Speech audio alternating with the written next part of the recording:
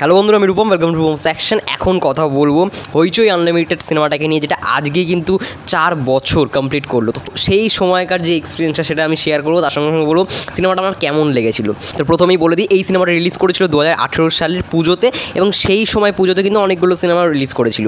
তো তার মধ্যে অন্যতম ছিল হচ্ছে অঙ্কুশের ভিলেন এসবিএফ থেকে তখন এসেছিল এক যে ছিল রাজা এবং আরও একটা সিনেমা এসেছিল বোমকেশ মানে বোমকেশ গোত্র আবিরের। তো, এ অনেকগুলো বাংলা সিনেমা রিলিজ করেছিল, তার সঙ্গে সঙ্গে কিন্তু হইচই আনলিমিটেড যেটা জনার কিন্তু একদমই আলাদা ছিল। তো সত্যি কথা বলতে প্রথমেই একটা কথা বলতে ইচ্ছা করে, দেবদা।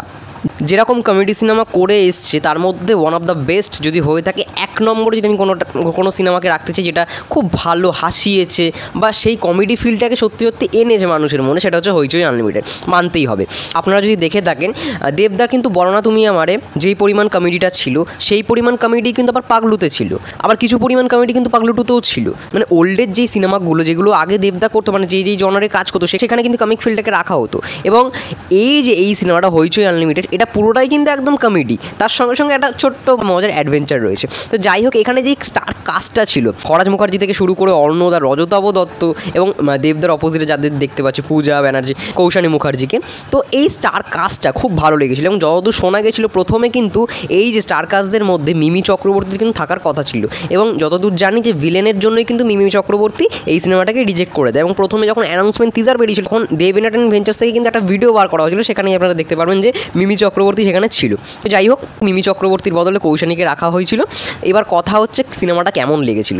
হইচই আনলিমিটেড সিনেমাটা কথা যদি কিছু বলতে আমার খুব ভালো লেগেছে এবং আজকে এটা চার বছর পূর্ণ হলো এবং আমাকে গগন গগন ব্যানার্জি কিন্তু রিকোয়েস্ট করেছে, এটা নিয়ে একটা ভিডিও বানাতে। তার জন্য অবশ্যই থ্যাংক ইউ জানাচ্ছি গগন ব্যানার্জিকে, এরকম একটা রিকোয়েস্ট করবার জন্য এবং হইচই আনলিমিটেড নিয়ে আমার সত্যি অনেক দিন ধরেই একটা কিছু বলার ছিল। তো দেবদা, আগে যেই জনারগুলোয় কাজ করতো, যার জন্য মানে যার মধ্যে অন্যতম কবির ছিল দেবদার প্রোডাকশন হাউস থেকে পাসওয়ার্ড ছিল এবং অবশ্যই ওয়ান অফ দ্য বেস্ট যদি বলে থাকি, এই হইচই আনলিমিটেড ছিল। এবার হইচই আনলিমিটেড পর থেকে না কোথাও গিয়ে এই জনারটাকে দেবদার কামব্যাক করায়নি, কিন্তু এই জনারটা কিন্তু একটা ভালো বিজনেস দিয়েছে বা এই যে সিনেমাটা একটা ভালো কালেকশন করে দেখিয়েছিল।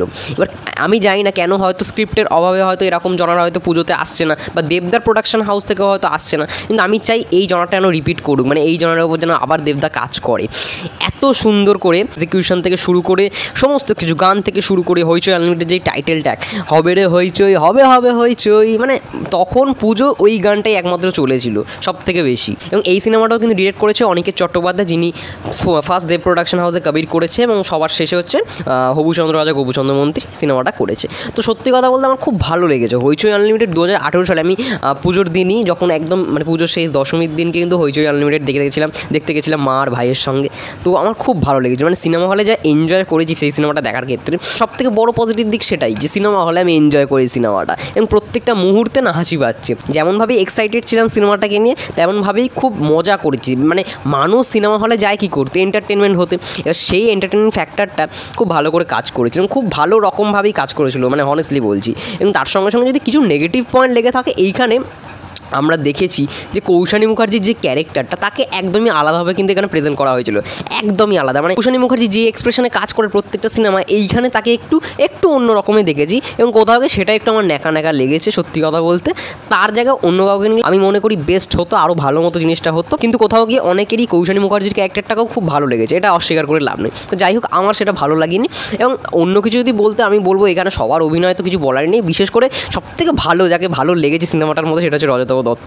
একদমই আলাদা একদমই আলাদা লুক ছিল। প্রত্যেকটা মিনিটে মিনিটে তার লুক চেঞ্জ হতো এবং সে যে কীভাবে অভিনয়গুলো করেছে সেটা সবাই আপনারা জানেন, যখন বিশেষ করে উজবেকিস্তানে যায় মানে সিনগুলোকে দেখানো হয়, তখন মানে ঘরে ঢুকে যাচ্ছে দেবরা, তখন তখনই সে হাতটা বন্দুকের মতো করে দরজার সামনে এরকম করে দিল এবং সবাই ঢুকে গেল। মানে মিনিটে মিনিটে একটা সত্যি কথা বলতে দারুণ দারুণ মজা পেয়েছি এবং রজতাভ দত্তকে নিয়ে যখন কথাই উঠল তখন বলে দিই, তার কিন্তু নতুন সিনেমা আসছে খুব শীঘ্রই, চোদ্দোই অক্টোবর সেটা হচ্ছে বিজয়া দশমী যেটা কিন্তু আমাদের কমিউনিটিরই একজন রিভিউয়ার অলোকেশ দা সেটাকে প্রডিউস করছে। সেই সিনেমাটা রিলিজ করতে চলেছে চোদ্দোই অক্টোবর। তো সবাই প্লিজ নিয়ারেস্ট হলে গিয়ে দেখবেন, অবশ্যই জানাবেন কেমন লাগল। তো যাই হোক, হইচই আনলিমিটেড আমার সত্যি কথা বলতে আমি চাই এই জনারটার ওপর দেবদা আবার কাজ করুক মানে এই কমেডি জনারটার ওপর এবং সেখানে যেন একটু ভালো রকমের অ্যাডভেঞ্চার থাকে যেরকমভাবে এই সিনেমাটায় আমরা দেখতে পেয়েছি, খুব মজা করেছি। সত্যি কথা বলতে দেব প্রোডাকশন হাউসের যদি মানে সব থেকে মানে টপ লেভেলে যদি কোনো মুভি থেকে থাকে, অবশ্যই আমি হইচই আনলিমিটেড সেই লিস্টের মধ্যে রাখব। চ্যাম থাকবে সেই লিস্টের মধ্যে। যাই হোক, আমার কিন্তু ভালো লেগেছে মানে মানে এক কথা যদি কিছু বলে থাকি ফুল টু মশলা এন্টারটেনমেন্ট একটা মুভি অবশ্যই প্রত্যেকটা মানুষ সেই সময় এনজয় করেছে এবং এখনও টিভিতে দিলে কিন্তু এর টিআরপি ভালোই আসে। ভালো রকমভাবে একটা টিআরপি জেনারেট হয় জলসা মুভিজে তাই এটাই ছিল আমার ওভারঅল হইচই আনলিমিটেড নিয়ে বক্তব্য।